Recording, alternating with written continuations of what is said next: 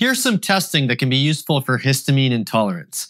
Hi, I'm Dr. Chris Masterjohn of chrismasterjohnphd.com, and this is Chris Masterjohn Lite, where the name of the game is details, schmetails, just tell me what works. And today we're going to talk about some testing for histamine intolerance. I'll link in the last to the last episode in the description of this one where I describe histamine intolerance in a lot more detail. But briefly, it means that you suffer from diarrhea, or headaches or any symptoms that are reminiscent of allergies in response to the histamine content of the foods that you eat. And one thing we might want to know in something like this is is it histamine intolerance or is it allergies or is it something else? And in particular, could it be that you have an increased burden of mast cells, which are one of the main types of cells that release histamine? Now, food allergies that cause these types of symptoms are generally classical food allergies where the standard testing that an allergist would use would be the right approach to identifying those food allergies.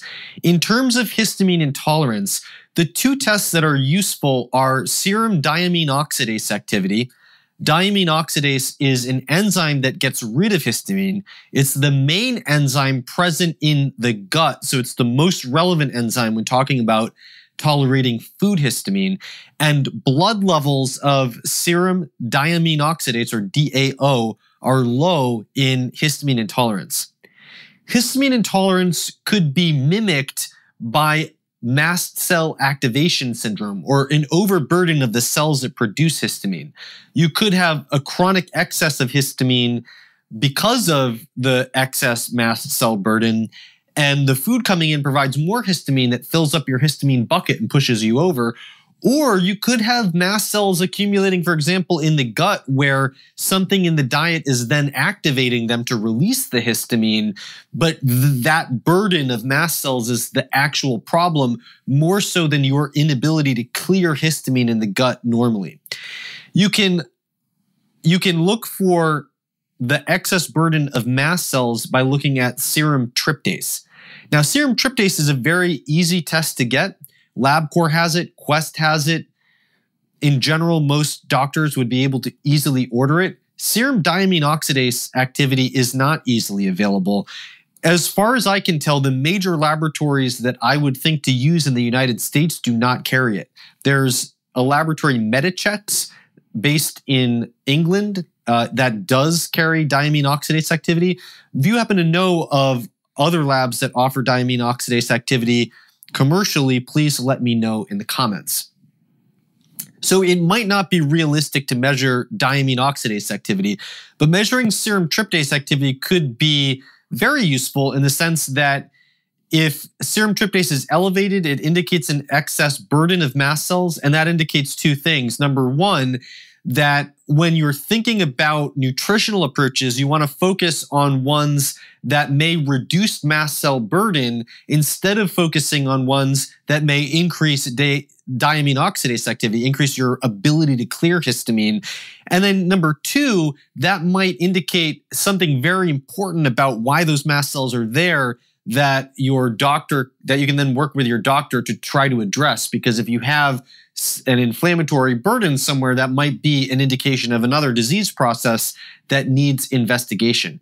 Now, in terms of the nutritional approaches to stabilizing mast cells or reducing mast cell burden or to supporting histamine clearance, I'm going to deal with these. I'm going to deal with these successively in a series of episodes that will culminate in an episode that ties it all together and all the different nutritional approaches that you could use. So stay tuned for future episodes for that.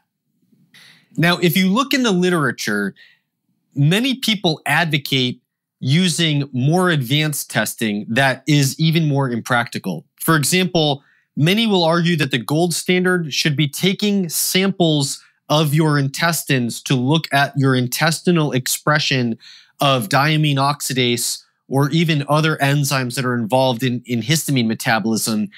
And some would advocate as the gold standard giving you a blinded histamine challenge where you are exposed to histamine doses that have been added to tea, for example, versus a placebo to see your whether your symptoms respond specifically to the histamine. These are deeply impractical in most cases, but I think the serum tryptase man- measurement, and if you can find it, serum diamine oxidase measurement, although they not, might not give you the absolutely definitive answer to what going what's going on, they can certainly point you in the right direction and be useful. This episode is brought to you by Ancestral Supplements. Our Native American ancestors believed that eating the organs from a healthy animal would support the health of the corresponding organ of the individual. Ancestral Supplements has a nose to tail product line of grass fed liver, organs, bone marrow, and more, all in the convenience of a capsule. For more information or to buy any of their products, go to ancestralsupplements.com. This episode is brought to you by Testing Nutritional Status, the ultimate cheat sheet. Everything you could ever need to know to optimize your nutrition all in one place. Easier to find and use than ever before. Get your copy at chrismasterjohnphd.com slash cheat sheet. Use the code LITE5, that's all capitals L-I-T-E and the number 5, LITE5 to get $5 off. The audio of this episode was enhanced and post-processed by Bob Devodian of Torian Mixing. You can find more of his work at torianonlinemixing.com. All right, I hope you found this useful. Signing off, this is Chris Masterjohn of chrismasterjohnphd.com. This has been Chris Masterjohn Lite, and I will see you in the next episode.